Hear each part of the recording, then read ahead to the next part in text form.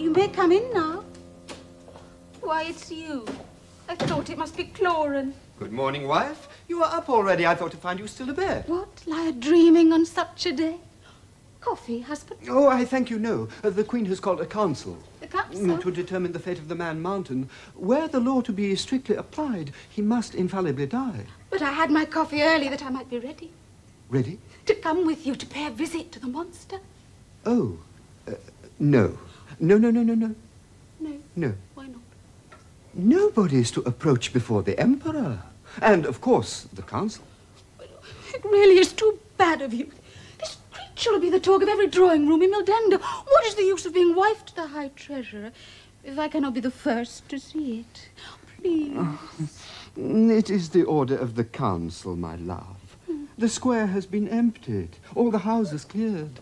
All common sorts of people are forbidden for fear of civil riot.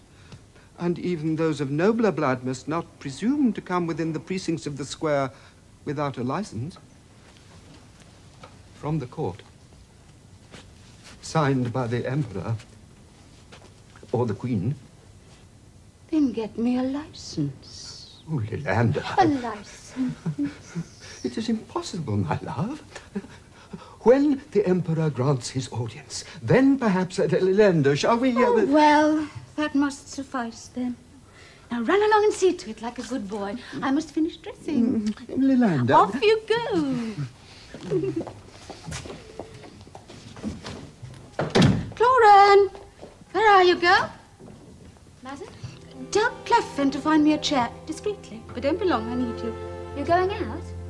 If anybody asks, you know. Resting and may not be disturbed. Yes, madam.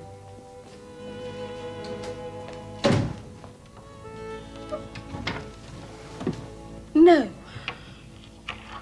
You'd better stay there for an hour or so.